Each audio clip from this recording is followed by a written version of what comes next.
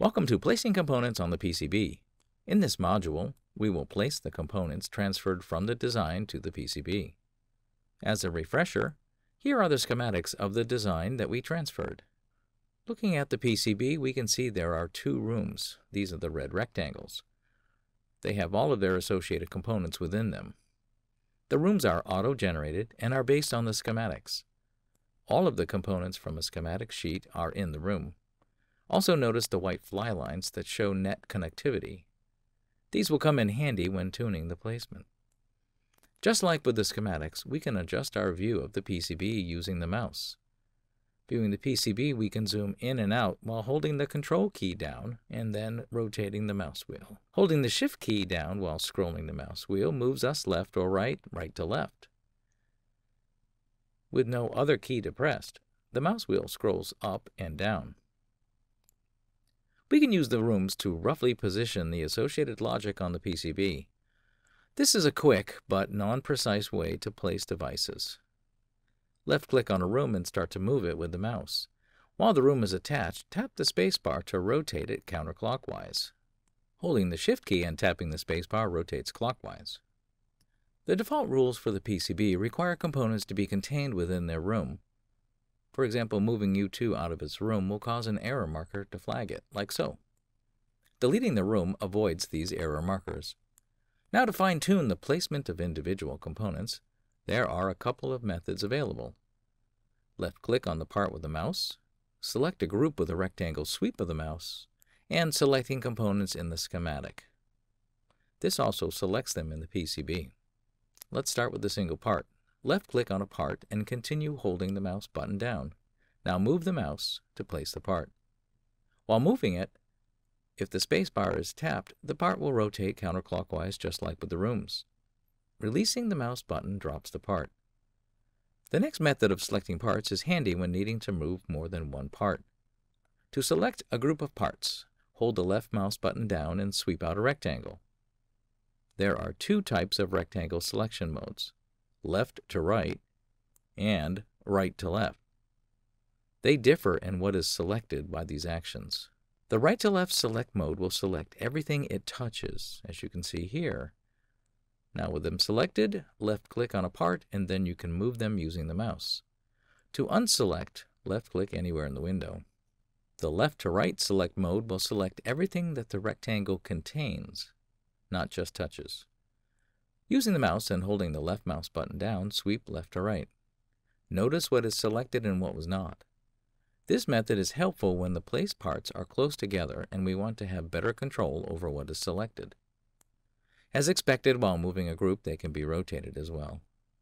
We can select a group of components in the schematic and they will be selected and can be moved as a group in the PCB.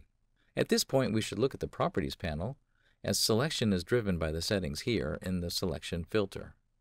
Note the default typically is for everything to be selectable. Click on the All Objects and that will clear the group. Now click on the Components so that we just select Components. Use the sweep to select some of the components in the schematic. Here we have selected four objects as indicated in the status of the Properties window at the bottom. Now switch to the PCB and notice they are selected. Again, to move them, use the left mouse button to click on one of the highlighted parts and move the group while holding the button down. Let's zoom out using the control mouse wheel to get a better view of the PCB. After moving them, click anywhere in the PCB to deselect them. Notice they are still highlighted. To clear the highlight, hold the Shift key down and click on the C key. Control Z will undo the last move and is handy to back up. In fact, you can back up a number of steps given the history. Going back to the schematics, we will select a number of components, but at this time, instead of the group selection, we will left mouse click on the first one, and then while holding down the Shift key, continue to click on additional parts. The order we select them is important. Moving now to the PCB, we see they are selected as before. This time we'll use a handy feature. Click on the pull-down Tools menu and select Component Placement, and then reposition selected components. Now the first part we selected on the schematic is attached to the mouse for placement. We can rotate it and zoom in and out as well, even during the placement operation. Left-click to place the part, and then the next part that we selected is attached to the mouse. Note that using the flyline connections can be an aid to placement and orientation for the parts. Continue placing all the selected parts until finished. Now clear the highlighting and selection by using the Shift key tapping C. At this point, we've only placed parts based on block level understanding of the design. Let's continue the placement and use the connection fly lines to fine-tune the placement and orientation. Zooming into U2 using the mouse, we can see a lot of connection lines, maybe too many.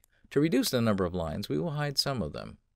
To do so, click on the View pull-down menu and select Connections, and then select Hide All. Now we can add all of the connections for a part by following the same View, Connections path and select Show Component Nets. Clicking on U2, we see all the nets connected to it. Right mouse click to exit the Show Components Nets mode. I often hide the power and ground nets to reduce clutter. To do that, again go to View, Connections, Hide Net. Now click on the power and ground pins to hide their connection fly lines.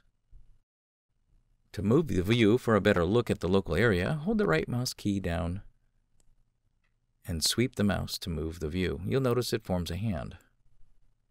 Looking closer, we can now position the U2 support parts based on their connections.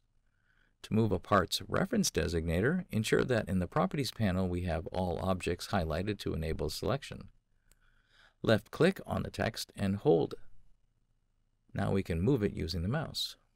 I also like to switch to 3D mode in some point to better see the PCB layout, as I find the 3D view quite helpful. Hit the number 3 key to go into 3D mode. While we're here, to rotate the view in 3D, hold the Shift key down to get the trackball to appear, and then use the right mouse button to rotate the view. To reset the view, click on the 0 key, or to rotate it by 90 degrees, click on the number 9 key. Hitting 2 returns to normal 2D mode. Moving parts and utilizing connection fly lines to tune the placement would continue as needed. Here is the final place design. While this design did not require it, placing components on the bottom is accomplished by selecting the component and starting to move it, then hitting the L key. This will toggle the part from the current layer it's on to the other side of the board. Another way is to select it, and in the Properties panel, change its layer. One important note, I do not generally use the heads-up display for PCB work, as I find it a little distracting and therefore I disabled it. Normally it would be enabled by default in the preferences. To show the heads-up display, I can hold the Shift key and tap the H key. This will toggle the display on or off.